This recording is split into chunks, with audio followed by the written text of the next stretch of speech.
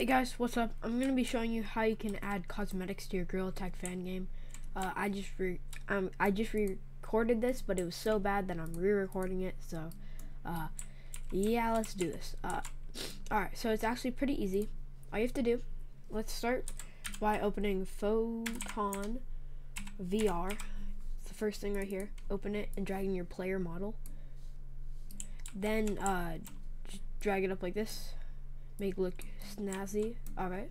Now you have to uh, click the arrow uh, in the top thing uh, to open up whatever it's called. Uh, and in here, uh, you have to add your hat model. Uh, to find a hat model, you can literally just look up 3D models. And I recommend using Sketchfab. And then I looked up hat. And uh, I scrolled down until I found this bucket hat. So if you want to follow along, use this bucket hat and make sure that you download. Uh, make sure that you when you download the file, make sure it's an FBX file because uh, that is the only type that works. Or there's another type, but I forget the name. All right.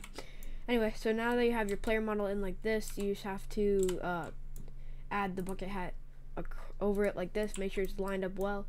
Oh my God! Come on. Thank you. Uh, make sure it's lined up well. Uh, mine's actually not lined up well, so let me make it slightly bigger. Alright, so uh, you might have to scale it down a lot because it does start out very big. Uh, so once you have it lined up pretty well, then you can shut it off in the top right here. Oh my god. Jesus. Uh, you just shut it off in the top right here. Uh, you won't be able to see it, but that doesn't really matter. Alright, so make sure it's underneath the head if you're gonna make it a hand cosmetic, make sure it's underneath. Uh, make sure it's underneath your hand or or your, your wrist joint. Uh, you can do either. Uh, I recommend putting it under your hand though. It looks the best. Uh, so yeah. Now you have that, you can close out of this player thing, and you can actually just delete your player. Uh, oh my god, come on. I'm gonna scroll up. Player, thank you. Delete it. There we go. Alright, so now you're gonna have to make your station. Uh, just make a cube, stretch it out like this. Uh, this will be your kind of like where your buttons are. Then you have to make two cylinders, or you can make it two squares, uh, whatever you want. But I use two cylinders, and you have to make them green and red. Uh, uh, or you can make them something else. I really don't care. Anyway, uh, now uh, make sure that you go to the collider and make sure it's a mesh collider because on uh, cylinders sometimes it gets messed up and then do convex and make sure it's a trigger on both of them. Uh, now you have to go to my Discord and find the enable cosmetic script. Uh, mine's right here, and I search up enable, and here it is. Uh, I would just drag it on like that, and it would be in here, but I already have it. So the cosmetic to enable. Now, uh, let me just figure out what the name is actually. Uh, by going to player, not player, photon, photon VR. Opening it, dragging my player. Alright, so now let's see what the name is. Why not another bucket hat underneath it? Oh, why is this under my player? Just drag this over here. There we go. Alright. Uh, I'm actually going to drag this under my game object. Alright. So now, uh, we know what the name is. It's called Bucket Hat Variant. You can see it right there. Um, and we're going to make sure that this says Bucket Hat Variant underneath it. Why am I over here? Uh, enable Cosmetic underneath it. You want to make sure that this says, uh, what was it called? Bucket Hat Variant? Bucket Hat Variant. You can see it's right here.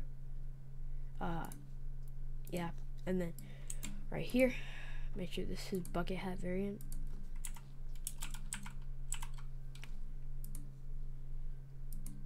So on this one, my, this script's also in my Discord. Make sure this one's disable cosmetic. And if you just duplicate these, make sure that you delete the enable cosmetic. Uh, but some people won't do that. Alright, so now you're done. Uh, just test it. All you have to do is go into your game, do a little slap slap on here, uh, and it should work. Um, if you notice that, uh, so uh, if it does work, uh, you can leave the video now. But if you're having problems, I'm gonna try to solve them here.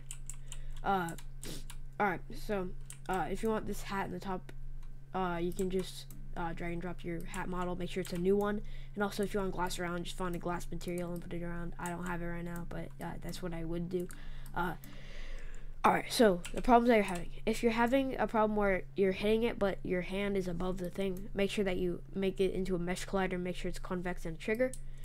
Uh, if you're having a problem that you're hitting it, uh, perfectly fine, but it's not happening, make sure it's a trigger.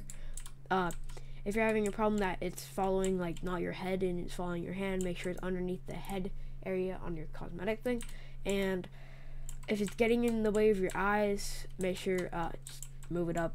Uh, I'll make a tutorial on how to get it out of your way uh, in another video, but I'm not gonna do that right now. If you want that tutorial, just uh, subscribe. Alright, uh, yeah, I think that's it. So bye.